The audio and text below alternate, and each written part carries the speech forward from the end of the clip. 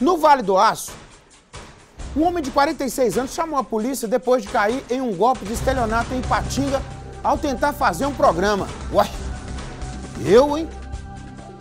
De acordo com ele, que programa? Programa sexual, né?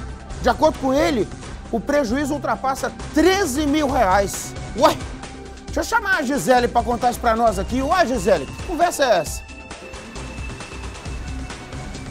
É isso mesmo, Nico. O caso foi registrado nesta segunda-feira como estelionato à Polícia Militar. A vítima, o homem de 46 anos, contou que passava pela conhecida Rua dos Motéis, no bairro Jardim Panorama, aqui em Ipatinga, quando então ele abordou duas travestis que estavam ali e combinou com uma delas um encontro por 30 reais.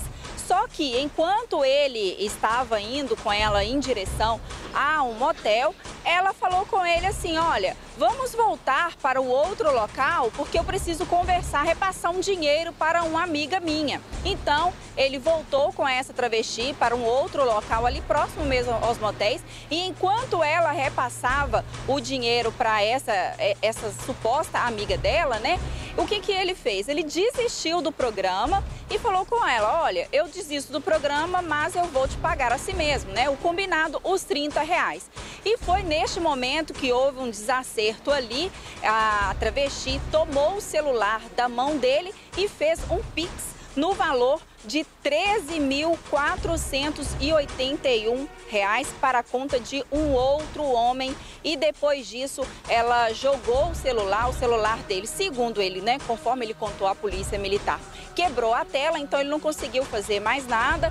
Ela teria também apagado do celular o aplicativo do banco dele, então ele não conseguiu ter muita informação, fazer muita coisa ali naquele momento. E por isso ele acabou chamando a polícia militar para poder contar e fazer um boletim de ocorrência sobre este caso.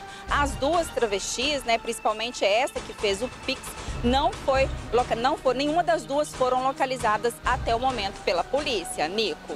É, que balada de gato, hein, Gisele? Obrigado pela informação aí, misericórdia. E ela contou serenamente, né, Eva? Ela é bem preparada, porque eu não conseguiria contar esse trem, não. Trem esquisito. Cruz credo. Eu, hein?